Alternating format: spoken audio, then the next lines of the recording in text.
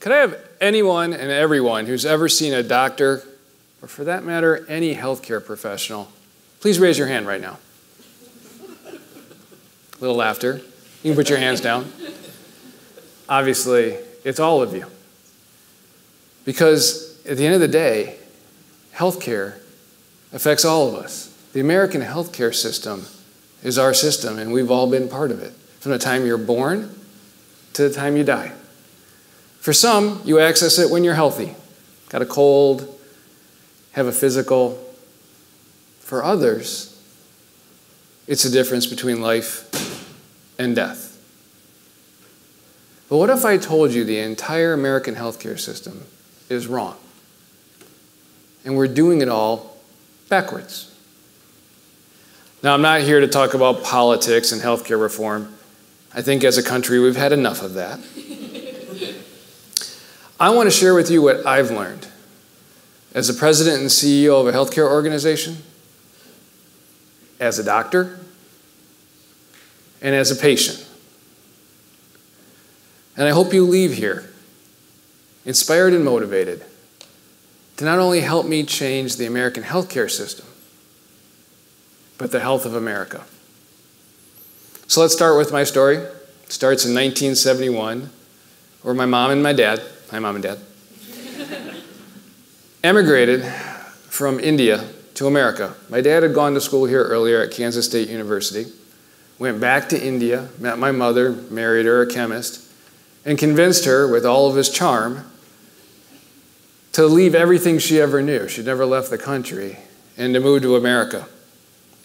And they chose the land of opportunity, Detroit, Michigan. They eventually made their way to Ann Arbor. And if you think about it, it's kind of a cute story because my parents have never moved back, so technically my mom and my dad are still on their honeymoon. So fast forward to 1972, it's a cold May day, and I'm born. I miss that hair. I miss hair. And I had a great year. First year of my life, amazing, from what I'm told.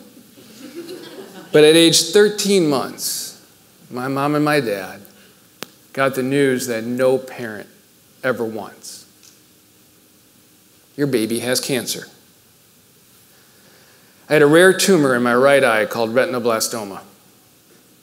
And it's 1973 in the United States of America. We have a pretty good healthcare system. And the doctors took me to the operating room and they removed the tumor by removing my eye. So this is a prosthetic. Now, when I look back and the motivation that created, I also think about the fact that if my dad had not been able to convince my mother to move here, I would have been born in India. Now, although the Indian healthcare system today is amazing, back in 1973, not so much.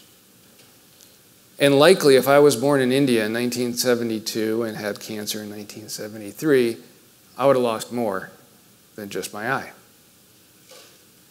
That single event has molded my entire life.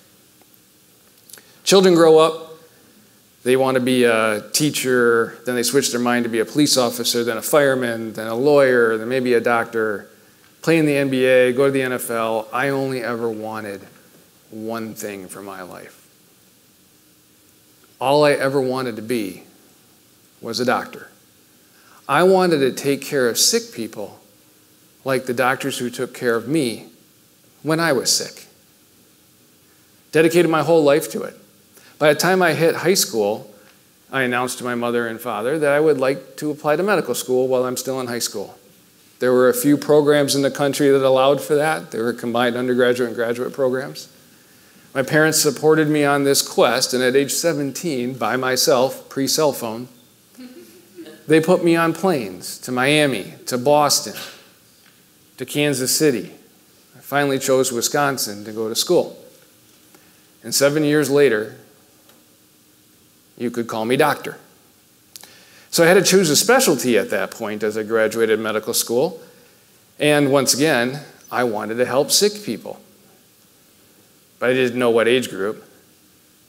So I actually wound up doing a combined residency in internal medicine and pediatrics, and I'm boarded in both. Fast forward to finishing my training, and then I had to find a job, the reality of the world. And I chose to be a hospitalist.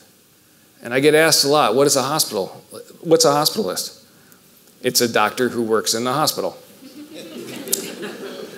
I still get the question all the time. But what do you do? I get asked. I said, Well, I take care of sick people. I'm the kind of doctor you never want to see because if I'm standing over your bed, it's probably not a good day for you. It means you're sick. You know, at the end of the day, I took a lot of pride in this. If you had high blood pressure and had a stroke, I got called down to the emergency department to bring you into the hospital and take care of you. If you smoke two packs a day and you have emphysema and you can't breathe anymore, I put a tube down your throat and help you breathe and hook you up to a ventilator. I could save your life. You can imagine the adrenaline rush of a practice like that. And I still love it. Still love taking care of sick people. But over the years, a little voice in my head got louder and louder. You see, every time I took a knee in the ICU to break bad news to a family, or stood over a patient or sat on their bed and talked to them about a bad diagnosis, I knew in my heart that if I had seen that patient two days prior, two weeks prior, two months prior, or two years prior, that 80 to 90% of what I saw in the hospital was preventable. And that little voice got louder and louder and louder. And I realized I needed to do something else with my education on top of taking care of sick people. So I became the medical director of the quality at our hospital. So I got great exposure in learning all the things we need to do right in medicine when taking care of sick people. So I needed more. So at the age of 36, my healthcare organization made me the president and CEO to help lead us through change. By age 46, this year, I serve as the chairman of the board of the American Medical Group Association, a trade association representing the largest groups in the country around organized healthcare. I even got to testify to Congress this summer. At the end of the day, all of these experiences put together have helped craft what I feel we need to do to change the American healthcare system and the health of America. Now, it's not going to be easy, and in all honesty, it has nothing to do with just physicians, nurses, hospitals, clinics. That's just one component of the American healthcare ecosystem. We all raised our hands. We're all part of the American healthcare system, so we all have a role to play in changing it. So let's start with the first area change the financing system of healthcare in America. It's 100%, most of it, based on what's called a fee for service system. What does that mean? We get a fee when we give, provide you a service, like getting your oil changed. You pay the person to change your oil, you pay the person to mow your lawn, but this is healthcare. So, what's that service? It's us taking care of you when you're sick. So now you're thinking, all right, this is not good. 100% of our financial motivation, the engine that runs our industry, is based on you getting sick.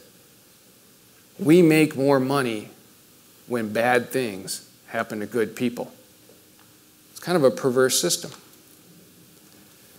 So we need to move to what's called a value based system, where physicians, hospitals, healthcare providers are motivated and paid to take care of people to keep them healthy. We still need to take care of sick people. We do a great job of it in this country, but we have no financial focus, no motivation to keep people healthy. That's what's called a value based healthcare system. And that's what we need to move to. We still need to reimburse people to take care of people when they're sick, but half or maybe even more of our attention should be to keep people healthy. So when I talk about value based healthcare systems around the country, I always get the question well, what about personal responsibility? What is our responsibility? So let's talk about that. talk about two categories of personal responsibility. The first being food. Not everybody's favorite topic, but let's be honest, we live in Green Bay, Wisconsin. It's everybody's favorite topic. Every day, we consume products that have zero nutritional value that could lead to our death, and we feed them to our children. That's a pretty strong statement, but we feed ourselves things that could kill us. And how are we going to change that? Well, we've been faced before in this country with that. Doctors used to give out cigarettes in clinics, even in the hospital, believe it or not. We could quickly figured out not good, will kill you. In the 1980s, the Surgeon General, C. Everett Koop, convinced Congress to put a label on every pack of cigarettes smoke one of these, it could kill you. Now, am I saying that in every can of soda that we should put a label, drink this, you could become obese and it could kill you? Kind of. Maybe we need extreme education in this country because obviously a label with a percentage of A's and B's and D's isn't working on the back of a box or the back of a can. We need to do something different. And we also need to give access to healthy food. There's actually a medical group in Ohio that has a healthy grocery store. Now that's changing for the better. So when it comes to personal responsibility, food has a big deal. How about another category? Movement, exercise. In this country, when we're kids, we play, and then our sole source of exercise is competition, it's sports. And what happens when you don't go to the next level in sports? You stop exercising, you stop moving. We need to take the focus away from competition when it comes to movement and exercise in this country. We need to develop habits in our children around exercise, in our families around exercise. That has nothing to do with sports. Still want everybody to play sports. I mean, we are in Titletown here. But at the end of the day, it can't be the way we teach about health. We need to keep moving as a society. Now, is this easy change? No. Changing how people make their money, that goes over really well. Taking away something off of somebody's plate, even better. Telling a kid to put down their iPad and move, that's fun. but at the end of the day, we have to be part of the change. So here's three things you can do today when you go home. If you buy health insurance for yourself or for a company, ask that health insurance company do you pay your providers based on fee for service or a value based contract. They're going to give you a strange look. They're going to be shocked that you know about that. But we need to start having those conversations. You are consumers of healthcare. You need to purchase the right kind of insurance, one that motivates people to keep you healthy, not profit off your sickness. Go home today.